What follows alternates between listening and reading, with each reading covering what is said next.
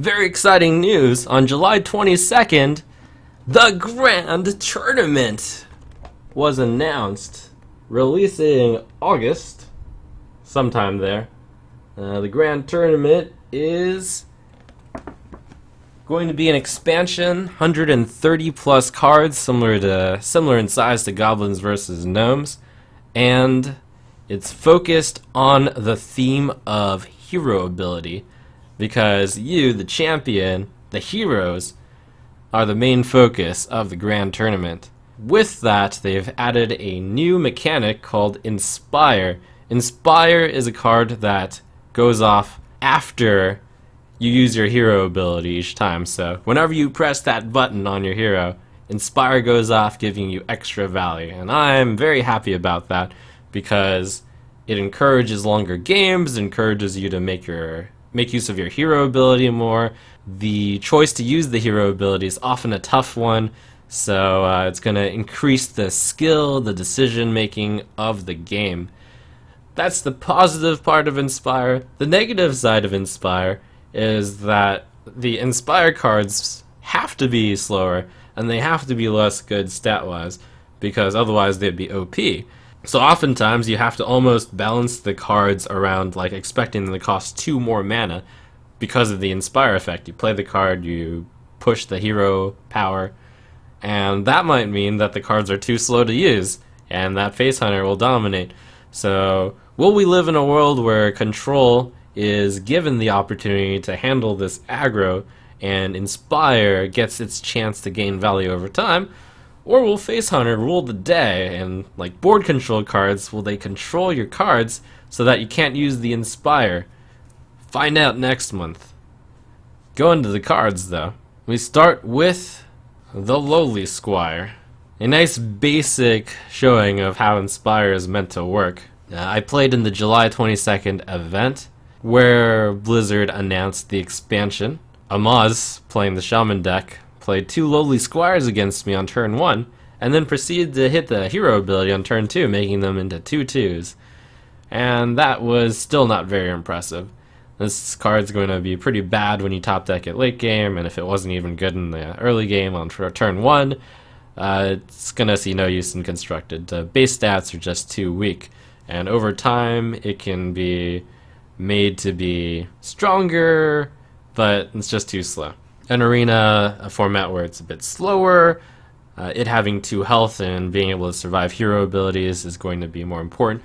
By the way, it's going to be even more important that cards are able to survive one health in arena now because you're going to be encouraged to use your hero ability. So you want to play an Inspire card and then Fire Blast or an Inspire card and then Shapeshift. Even in decks where you want to do a turn 2 hero ability, for example, Lowly Squire, Lowly Squire, Rogue hero ability on turn 2, I think it's still no good because it's just too slow and the card is so weak individually that you don't even want it in the late game. Like in the late game, you can actually play it with the Inspire immediately, but then it's just a one mana 2 2, and it's just not good enough. Garrison Commander. This one's a nice card to put into your Inspire type deck, your late game control value type deck.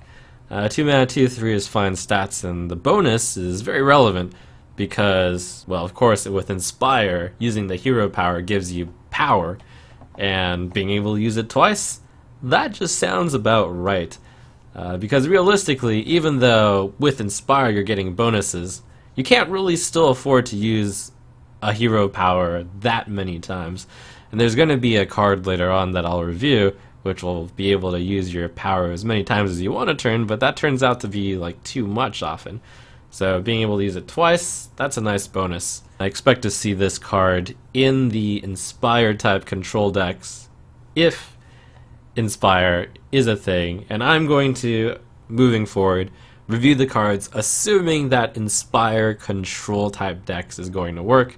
So I'm going to add like the asterisk right now in my later reviews and in this review. If Inspire turns out to be too slow, then like all these cards are actually just based off of stats, not entirely good. How is Garrison Commander too slow in Face Hunter? It's really interesting how uh, Inspire is going to work differently in every class, and how the hero ability is going to work in every class. But when you think about it, 6 mana, 2 3 deal 4 damage is just not very good. And that's a simple reason why uh, these inspired type or hero power mechanics they tend to be over the long run, therefore not very well suited to aggressive decks, I think. But maybe there are going to be aggressive cards with Inspire on them. But then I would think about like how can you even make a aggressive Inspire card because by the virtue of being a card with Inspire on it, like Inspire is a major bonus, or maybe a minor bonus, so you can't make the stats too good. So it's tough for an aggressive card to be made with Inspire because if you make a card have good stats and have Inspire on it, that just makes the card too good, probably. Uh, in Arena, this card will be very good just as a solid 2 mana 2 3 with a nice bonus. So of course it'll be good. Silverhand Regent. This is another nice kind of small bonus for the Inspire, 3 mana 3 3, reasonable stats. Inspire summon a 1-1 Silverhand Recruit. This is the type of Inspire card, uh, very similar to the Lowly Squire, which is a nice bonus, but is probably not a big enough effect to matter. Like the stats, they're not that good. The Inspire, it's very minor. Uh, very interesting that you can get 1-1 Silverhand recruits in other classes now. And here's an interesting thing to think about when it comes to Inspire. It's almost like you have two different ways to play it. Like you can play it at the mana curve, so you can just play a 3 mana 3-3, and that's kind of reasonable. Or you can think of it as like a 5 mana card where you're using it with your hero ability. So, like let's say you played in Paladin. You're playing 5 mana, and you're getting 3 mana 3-3, and 2 mana uh, and two one ones. That's kind of interesting. I imagine, after all, you would want the Silverhand Regent in a deck where you are focusing on making guys, and Paladin just makes sense because you have Quartermaster. But yeah, here's the problem with Inspire. It takes some time to get working, and in a class that's going to use the hero power, for the most part, this is a 5 mana 4 4 with your hero power, whatever it is. Uh, is that going to be too slow? If the effect is this minor, probably. Uh, in Arena, though, this card's going to be amazing because it's going to be slow enough that you can use this ability. And a 3 mana 3 3, that's okay. Maiden of the Lake. This is a pretty exciting card, which gives me hope for Inspire because I believe this is one of the first cards, possibly the first card, without like a crippling drawback, like Pitlord, where it's a 4 mana 6 health minion. So that's a big deal because control decks like cards which have a high amount of health. This obviously is a card that really benefits the Inspire theme. I expect it to be a staple in most decks that run Inspire cards. She's a nice lady that's gonna help you out. Uh, not much to say, it's just a very sturdy card. In Arena, this card just uh, emphasizes value, so it should work out too and you can actually play this card unlike other Inspire type cards which want to use the hero ability immediately. Like instead of plus 2, you can play this on turn 4 or turn 5. Uh, it feels like this can be used in nearly every deck. Water Elemental, Oasis Snapjaw. Okay, Snapjaw sucks. Water Elemental is a mage card. And obviously the point is 4 mana, 6 health is rare. One thing to remember is that this card says your hero power costs 1, not your hero power is reduced by one. So if you have two Maiden of the Lakes out, and your hero power does not go to zero, which is both a little bit of a shame and both understandable because of the degenerate combos that would happen. Kodorider, uh, six mana, three five. So when you see six mana, three five, the text had better be amazing for the card to be good. Bad news, the text is amazing, but maybe not amazing enough. You play it either as a 6 mana 3 5, Hint, don't do that most of the time. Or you play it as an 8 mana 3 5 3 5. So that's like an 8 mana 6 10. When you play it as an 8 mana 6 10, that's not too bad because the stat wise it's pretty good. But the problem is it's kind of like the same reason why Cairn isn't played these days because it's too slow. You can't play something with the expectation of playing it on 8 mana and then having it only be okay on 8 mana. Uh, in Arena, this card's probably going to be reasonable enough that uh, you can keep it going. Now, obviously, the Kodorider is a huge threat, so it has the added benefit of when you play it, it basically has taunt because the amount of value that you would get from pushing the hero power would be too large. Uh, this is an example of a card where if the metagame is aggro, it wouldn't work at all.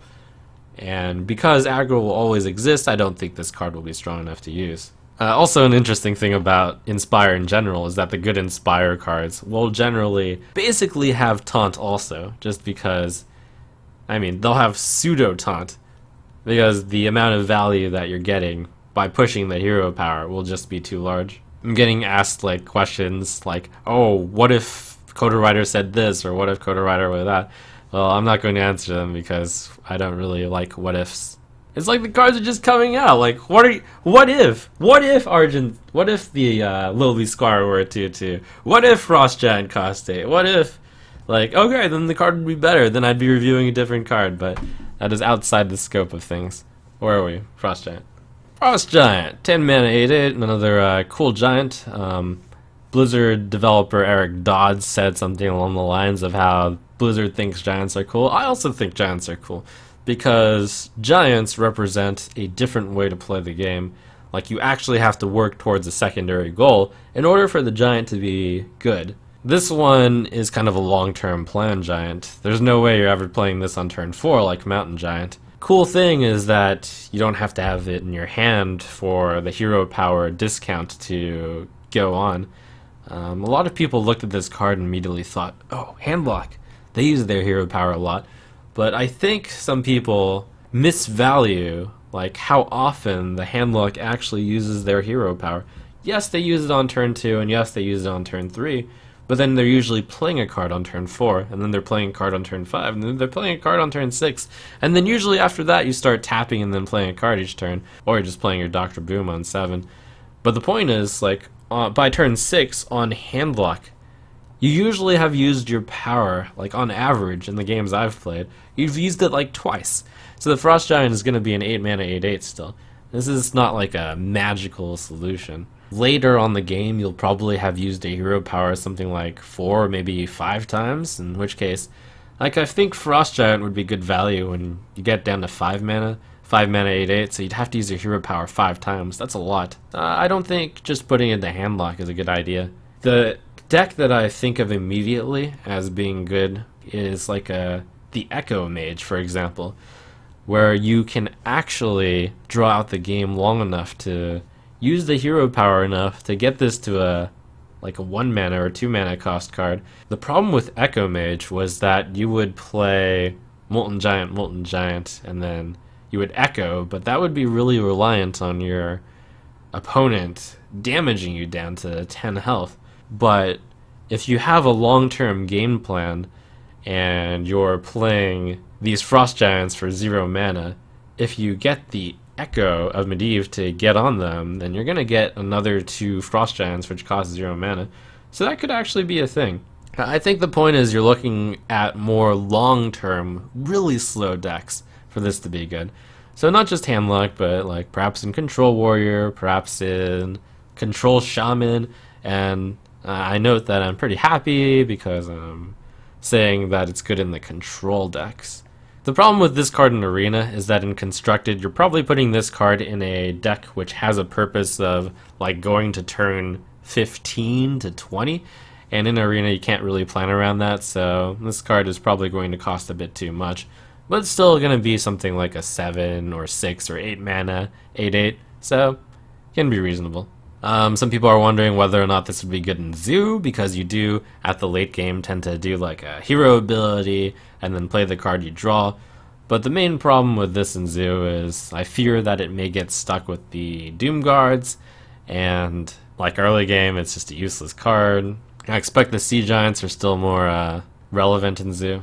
Compared to the other Arena Giants, this one's probably better than Mountain Giant, and it's less good than Sea Giant, but that's a wide range because Sea Giant is really good and Mountain Giant is really bad. Now we're on to the exciting legendaries. Whoa, we got Sky Captain Kragg, who has Charge, and is just about the saddest card that I've seen. Maybe the worst card of this set. So here's the thing to think about, and it's something that I'm really keeping in mind when I review cards now. You have to think of cards in their best case scenario, or a realistically best case scenario. So what is this card's best case? Well, realistically, I think it would be a pretty good case if you actually had three pirates out on the board, like without already ridiculously winning. So if it if you have three pirates, it's actually a four mana four six with charge, which is amazing actually. The value of a four six with charge is actually somewhere around like six mana, which when you first look at this card, it looks really really bad. But you think about it and you're like, okay, a five mana four six charge that would actually be pretty good. Druids do a 5 mana 4 4 charge all the time with Druid of the Claw. So, like, to be fair, a 6 mana 4 6 charge seems right. So, even though it seems like this card could be reduced to 6 mana, and it probably could, let's let's be honest, it could be 6 mana. This card would be fair at 6 mana 4 6. Now, the bad news is fair is not what you're looking for in constructed. I think this card's mana cost is too high, and that even in a pirate deck, it's just too slow. You can't really count on having your pirates on the board. It's bad. And needless to say, in Arena, it's bad. Justicar Trueheart. My goodness, that's something. Alright, Battlecry, replace your starting hero power with a better one. So you're probably wondering what a better hero ability looks like. Basically, for all the classes, that means the hero ability power is doubled. So priests heal for four, warriors armor up for four, mages deal two, druids deal two and gain two armor, paladins get double one ones, hunter gets a 1.5 multiplier with dealing three damage instead of two, warlocks get to draw a card without having to pay two life, and rogues equip a 2-2 weapon instead of a 1-2. And finally, shamans I think got the short end of the stick they summon a totem of their choice. Who knows? Maybe debatably based on what you think. Maybe shamans didn't get the short end of the stick. I think they did. So, 6 mana, 6 3, obviously the stats are bad. But, oh man, if you thought pushing the button was good, now when you push the button, you get almost twice the effect. That's so tasty. Those games which get into the later game, that's really, really cool. Yeah, I mean, you can summon, as a shaman, you can summon taunt totems over and over again. You can just replace them. You can, like, build up a board of seven spell damage totems, play your lava, whatever, for plus seven. It's kind of interesting, but I do think it's on the weaker side for shaman. Card's really slow, obviously, because you have to play her and then you have to use your hero ability at least twice to break even, because you could instead just spend 4 mana, you would easily get a 6-3 worth of stuff, and then use your hero ability, and then the next turn you could just use your hero ability and you'd basically break out even. Now also worth mentioning, this is your starting hero power, so it doesn't affect Jaraxxus or Ragnaros. Starting requirement, you need to use your hero power twice to break even with having used the hero power. Now, hero power is often not ideal of a move, so we're going to say, I'm going to put on a requirement that you basically need to use your hero power four times for this card to be good. Now the question is, is that actually feasible? You're going to be playing this on turn 6 usually. So then on turn 7 you'd have to use your hero power 8, 9, 10. That's pretty tough. Also worth mentioning that I don't think it's that much of an improvement. I guess I will start eliminating classes which I think it's not that useful for. I don't think it's that useful for Warlock because uh, losing 2 life while pain is not that big a deal. I don't think it's that useful in Shaman because I don't think controlling your totem is that important. I don't think playing it in Rogue is good because I don't think a 2-2 weapon is that impressive. And it's actually one of the hero powers that isn't even that good when you're doubling it. I don't think it's that good in Hunter because it doesn't double the power and it just makes you do one more damage each time. So in fact, with the uh, Ballista shot upgrade, deal 3 damage to the enemy hero, uh, since you're spending a turn to play this, which would be spent doing a hero power, uh, you need to do 3 hero powers normally to match up with 2, so I don't think it's good in Hunter. So that leaves basically Druid, mage, paladin, priest, and warrior as notably like reasonable things. We have control warriors already, where you're often going to end up being pretty late game. So I can see Justicar Trueheart fitting in there, perhaps. Like, you have to think about this card in so many classes, since it does different things on the hero power. So let's compare Justicar Trueheart to Shield Maiden. That's a fair comparison. Uh, you get a 5-5 with Shield Maiden instead of a 6-3 of Justicar Trueheart. Uh, advantage Shield Maiden. You're gaining 5 armor off the bat. In order to catch up with Justicar Trueheart, you'd have to use your hero power 3 times over the normal hero power. And often as control where you're actually using the hero power a good amount of times. The main problem is Shield Maiden actually rescues you from the fast decks, whereas Justicar Trueheart takes a while to build up. So that's also a consideration to be made. Of course, in any long, drawn-out game, Justicar Trueheart's going to be amazing, but the question is, can you actually get the games to draw out that long? All in all, you come to the conclusion that you basically need to use the hero power three times as Warrior to justify replacing a Shield Maiden with it. It's even questionable because the Shield Maiden does it immediately, whereas Justicar Trueheart does it over time. And of course, Shield Maiden is also uh, purely good because oftentimes you're comboing it with uh, with Shield Slam. I think one of the hero powers I most look forward to doing, especially in a control deck, is making a guy. Believe me, I salivate at the thought of making two guys when I press the button. Each time you use the hero ability, your, your hero power, you're getting a plus 1 1. You can even like solo combo without muster for battle now. You just push the button, then you quartermaster. Justicar Trueheart, like you can think of a 6 mana card. What stats would you need for it to be good?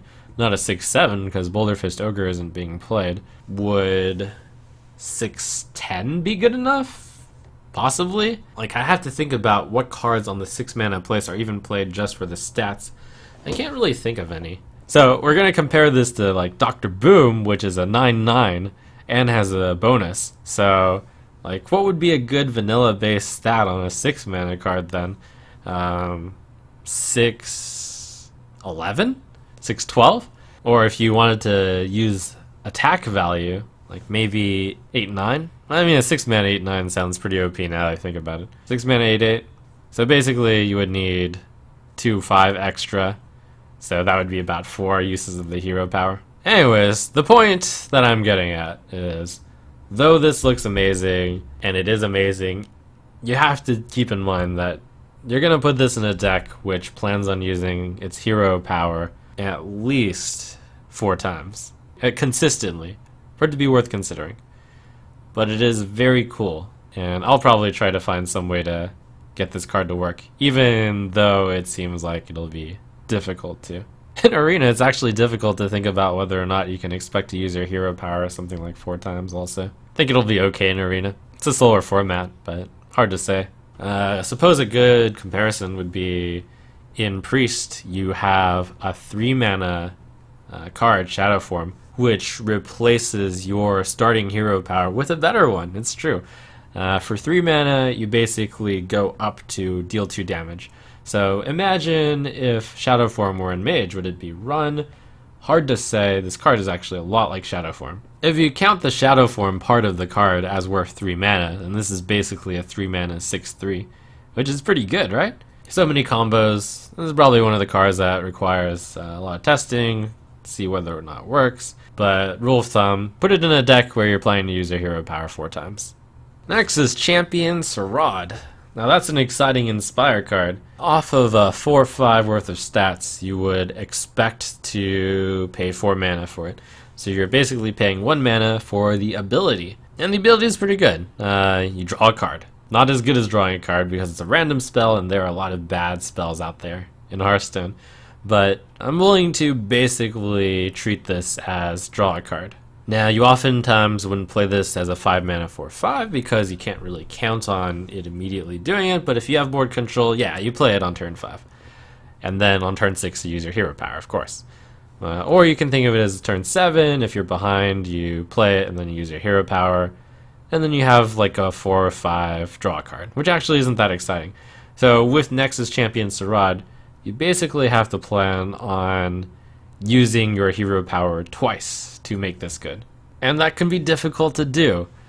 So even though it looks amazing, it's like, eh? Is it even that good? But one big thing to realize is Nexus Champion Saraad does have kind of taunt. So when you think about it, 5 mana, 4 5 taunt, that's not bad. But it's not really taunt, is the problem.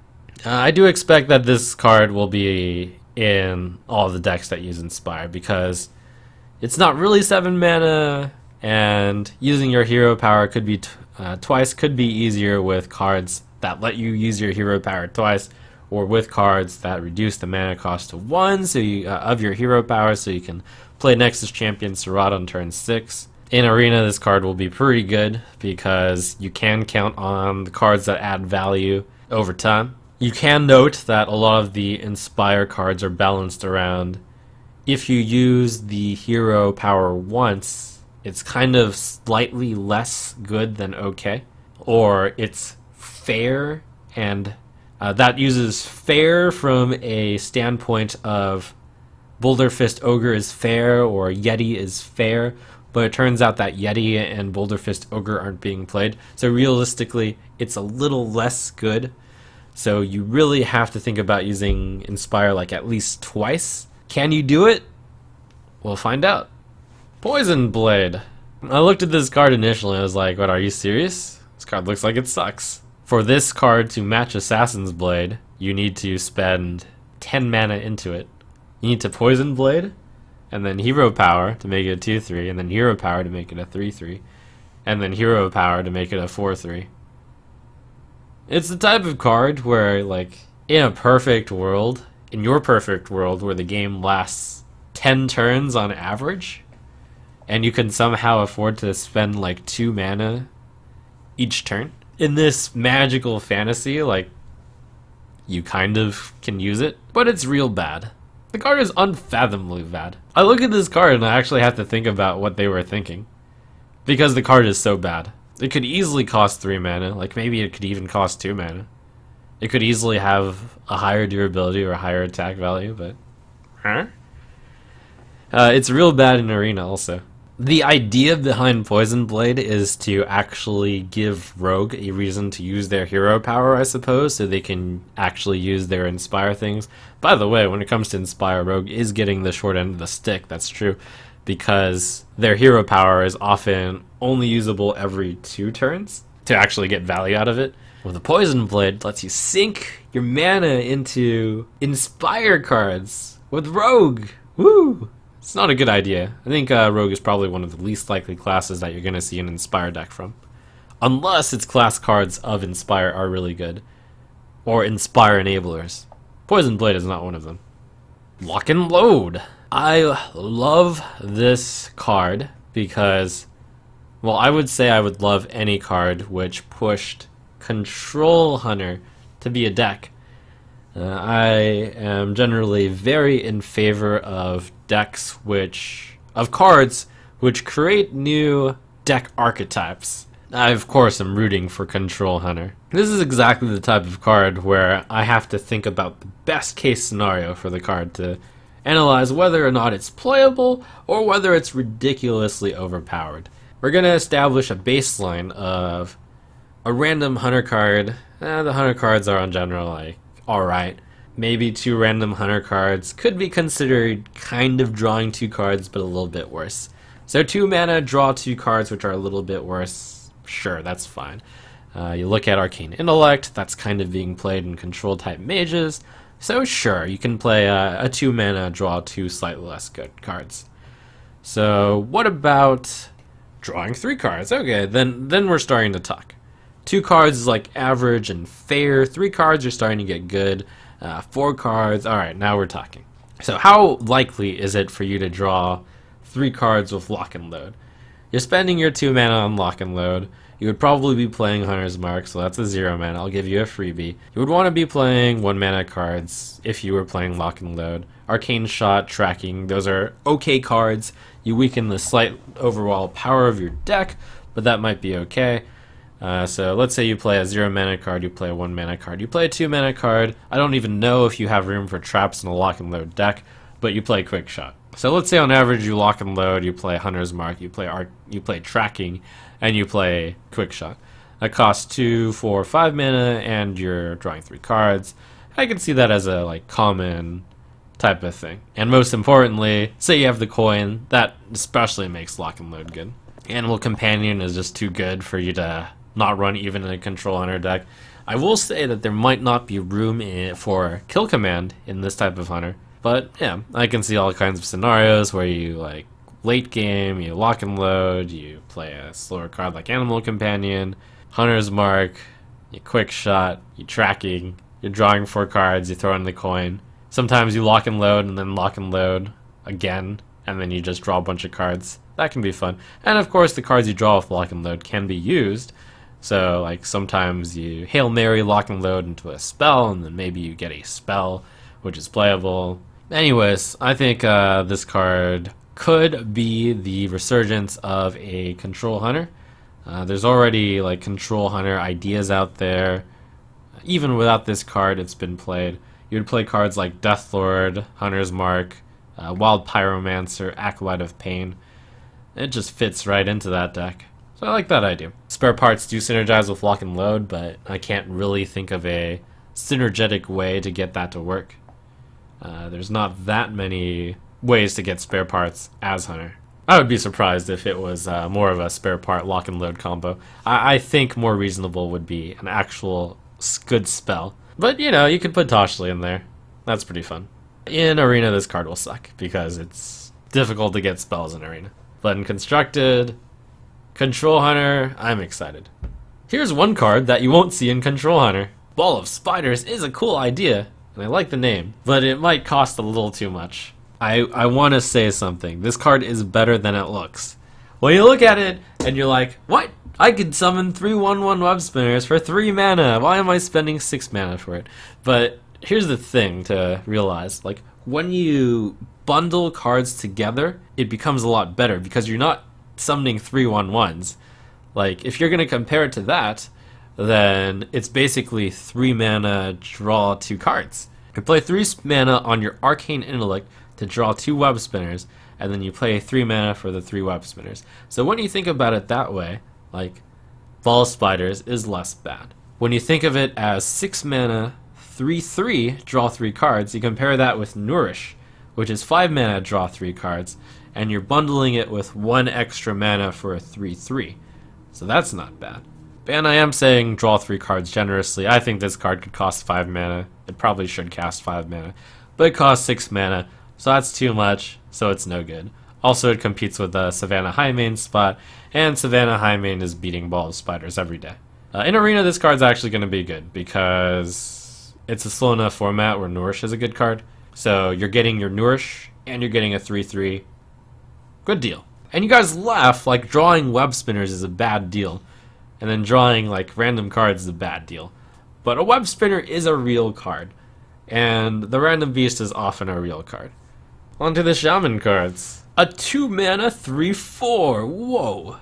Overload 1, and notably, it is a totem. The Totem Golem. This is Blizzard starting to realize that Overload is not that much of a benefit, so they're actually adding the Overload cost to the mana cost and being like, okay, we're going to give you a 3 mana 3 4 and we're actually going to give you a slight benefit because Overload lets you pay at 1 mana forward. And this is a fair card because Spider Tank is a 3 mana 3 4 and isn't being played much. When you look at this and you compare it with the old card Feral Spirit, uh, that card was 3 plus 2, and you're getting a 2 3 and a 2 3, so it's like 5 mana 4 6. That's not very exciting. As a shaman, you can now get board control really early play this on turn 2 or even coin it on turn 1. Board control early is better than board control late because you can actually start getting your favorable trades in. Like you get this guy on turn 1, you can kill their knife juggler on turn 2, and you can have it survive. It's a big deal. The fact that it's a totem is uh, going to probably be good with the other shaman cards too. Totemic Might Hype. Uh, in Arena, this card will be amazing because it's all about board control. Uh, probably a top tier card.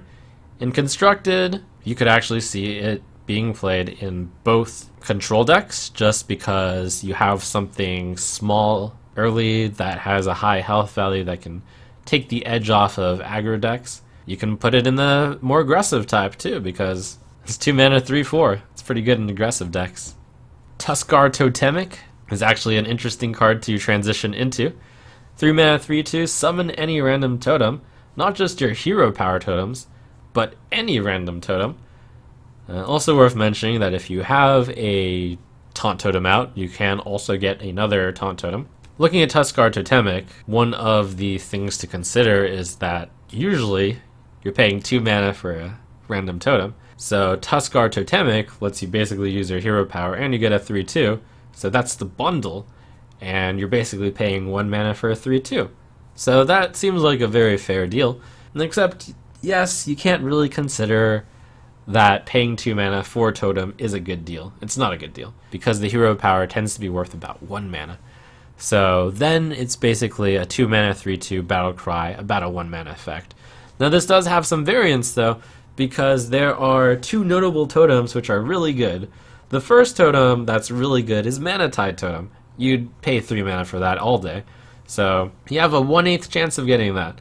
And you have a 1 8th chance of getting one very special totem, as Amaz got off of me twice during the July 22nd uh, showcase match. You can get Totem Golem with Tuskarr Totemic. And then you get a 3 mana 3 2 with a extra 3 4 attached. And that's insane.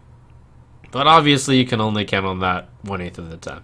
Uh, the other totems you can get are Flame Tongue Totem and the Healing Totem. The Healing Totem isn't very exciting.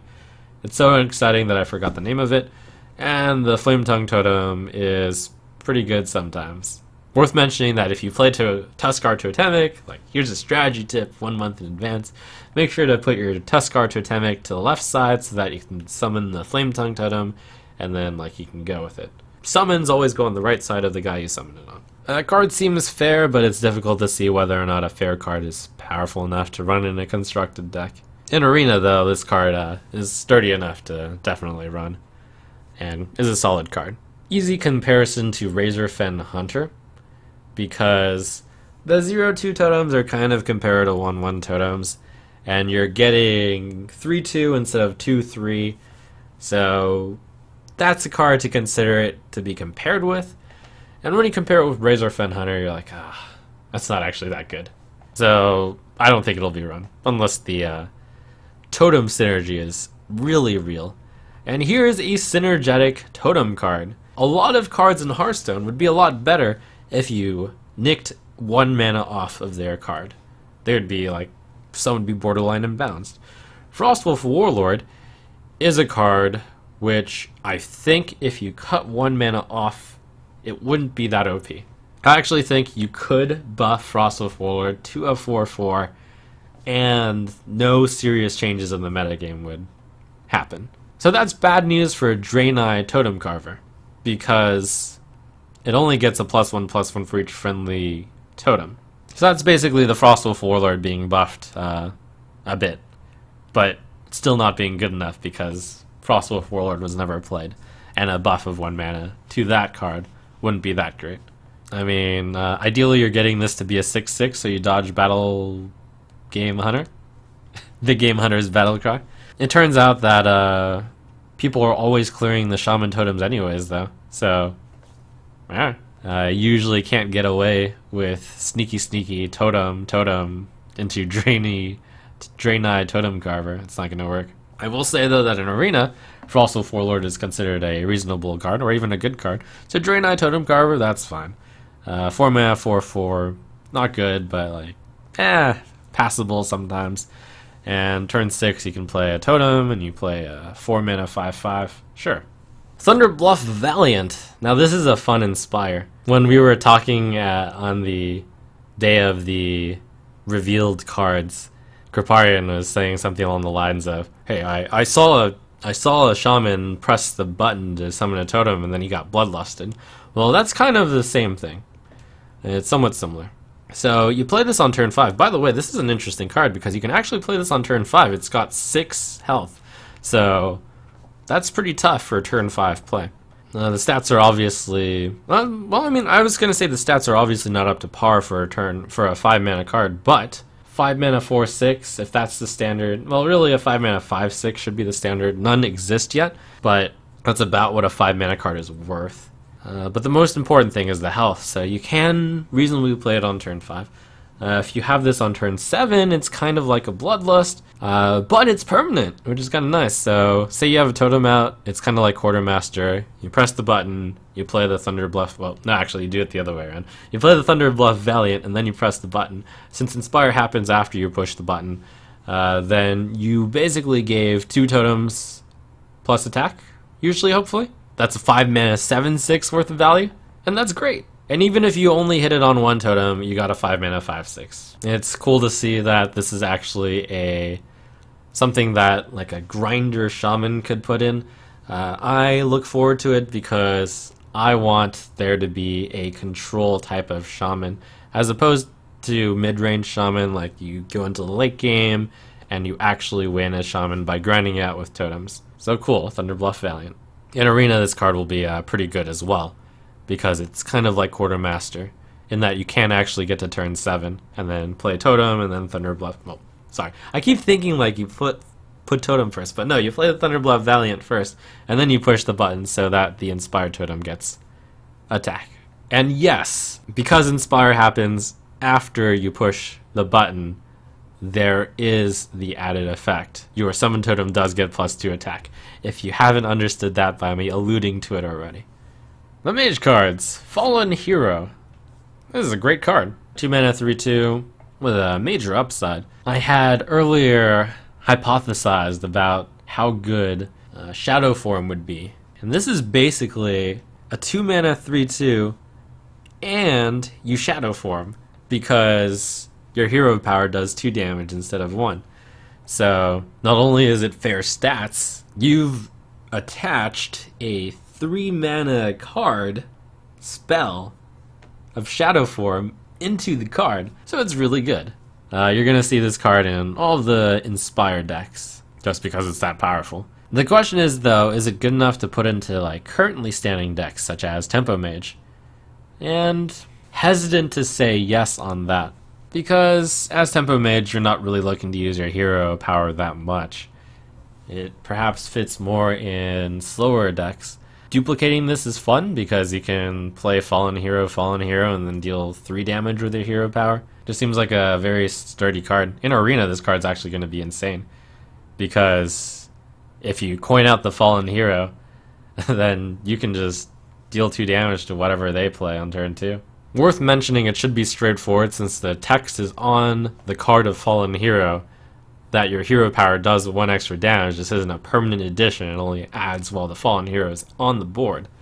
Effigy, this is a cool secret. It's very similar to Duplicate. Whenever a friendly minion dies, get an effect, it's faster than Duplicate because it immediately goes on the board. Firebat and I were having a, a discussion about the card, and Firebat was saying, cool, this is a nice card to uh, put into the usual Tempo Mage uh, there was a problem with the mirror entities earlier that if you only put in two mirror entities, you were often struggling to find one more secret to put in, counterspell, duplicate, but effigy fits right in. It's actually fast enough to take into effect, and you'll often get something reasonable, like if the secret is free from Mad Scientist, then basically the battle, the death rattle of Mad Scientist would be on average some uh, random two cost minion, and that seems good. But another way of thinking about effigy is that you do get a random minion with the same cost, so you could also play this in a control deck.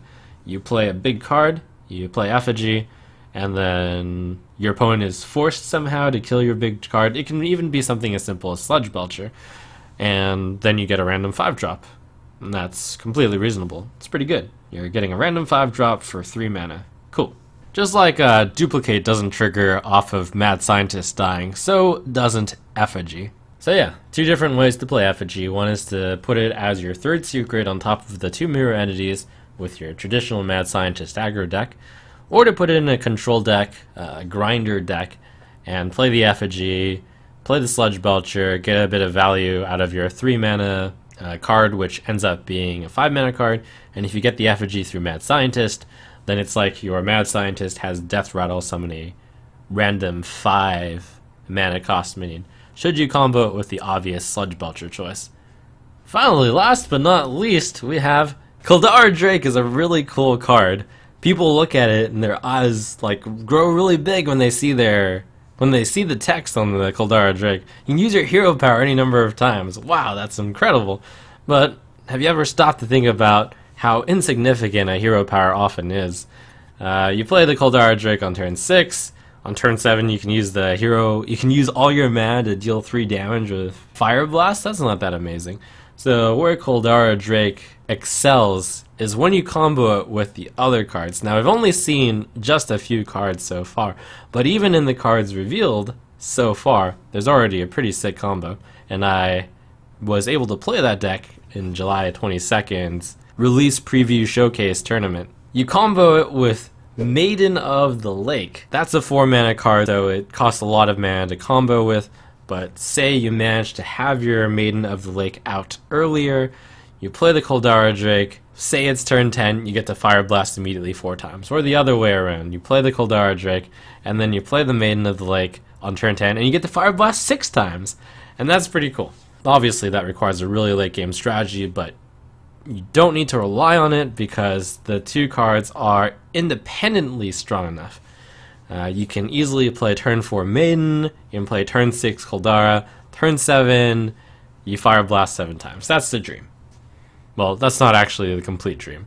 The real dream is then you play Nexus Champion Saraad, and then you start Fire Blasting for 1 mana each turn, and then you, uh, every turn, repeatedly, and then you draw a random spell each time you do. That's the dream, but how realistic is that dream? It's not that realistic. But the good news is, I don't think this is meant to be like a combo. Obviously, the three cards work together in combination pretty well, but the cards might be independently strong enough that you would run them anyways. Uh, you would want to mix in, of course, the other strong cards that work with the uh, hero ability, such as Fallen Mage. But yes, that's a deck right there. With the proper defense, maybe you can make this value deck work. I don't think it's that smart to trust and rely on the combination of having all of those cards together, but it should be more thought of of if it happens, that's nice. But if it doesn't happen, then okay, I've got a 6 mana 6 6. I can use the hero power sometimes. I've got a 4 mana 2 6. If I use the hero power once, that's kind of value. I've got a 5 mana 4 5. If I use the hero power twice with that, it's kind of value. Uh, I'm being told it's called the Fallen Hero. Uh, just imagine I said Fallen Hero. It's okay. We can leave that in. Fallen Mage people will understand what it is. I think the Coldarra Drake is a card that looks better than it actually is. In practice, it's really hard to actually combo with Coldarra Drake because it's a 6 mana combo starter card, so you only have 4 mana left over. But with Emperor Thaurissan, miracles can happen. But not only is it a 6 mana combo, you have to combo it with the 4 mana card which makes your hero power 1. But the point is the cards might be independently strong enough to use anyways. In Arena, I think this card is going to be pretty good because uh, you can get into the late game. 6 mana 6 6 is already pretty reasonable anyways, and it's a nice bonus that you can just machine gun fire blast. Being able to control where your fire blasts go is really useful. Uh, it is also a dragon, so you might see some kind of mage dragon deck appear. The dragon deck for mage was almost there anyways. Uh, you would have your Azure Drakes, you would have your Twilight Drakes, you would have your Blackwing Technicians, you would have your Blackwing Corruptors, and now you have another consistent Drake, the Coldarra Drake. Uh, dragon decks always tend to be control anyways. Uh, you have a lot of control elements in Inspire, which encourages you to be control and go for the late game. And we uh, finished reviewing the cards. Unless I missed any. Hooray. Yeah, I should say some kind of like epilogue. So all in all, this is a promising start to the set. You can kind of get the flavor of it. It's clearly meant to have cards which encourage long-term value through the Inspire mechanic and perhaps move things towards a more control style. And that's something that I love. I like having the ability to gain value over time. Now, the problem is, I don't quite see how you're going to gain value over time if you die too early. So hopefully we're going to see some anti-aggro cards, or some ways to stem the bleeding so you can actually get the value. Thanks for watching this first review of just the first 19 cards of the more than 130 cards that are going to come out. Hopefully we see some measures to be able to live so that you can obtain the value from these cards.